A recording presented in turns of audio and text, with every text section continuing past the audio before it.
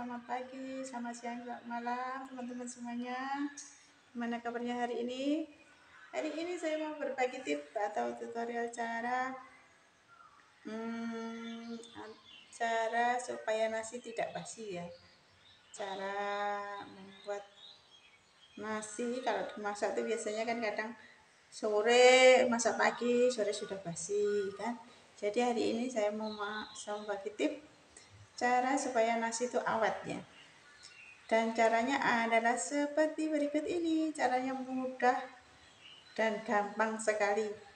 Dan mungkin ada yang belum tahu ada yang mungkin sudah ada yang sudah tahu ya.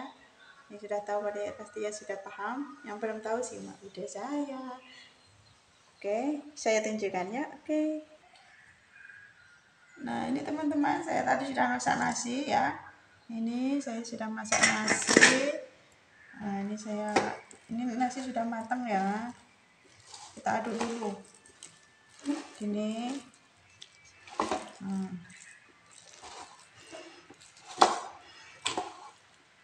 ini saya masaknya agak lembek ya karena uh, saya punya anak kecil jadi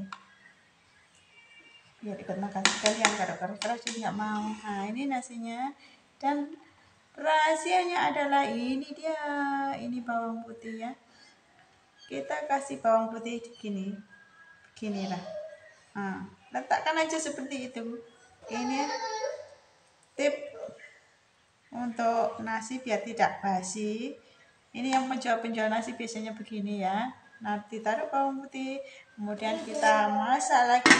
Kita tutup aja sampai tanak. Yang ini masih nyala lampunya. Biarin aja sampai tanak nasinya. Jadi sekitar satu jam gitu mungkin apa setengah jam lah. Sudah tanak bolehlah dicabut ya. Sudah matang itu sudah aman. Dan nasi akan tetap awet. Tidak basi. Silakan ikutan. Silakan dicoba ya bunda-bunda. Siapa tahu bermanfaat. Oke terima kasih yang sudah nonton video saya. Silakan dicoba Wassalamualaikum warahmatullahi wabarakatuh.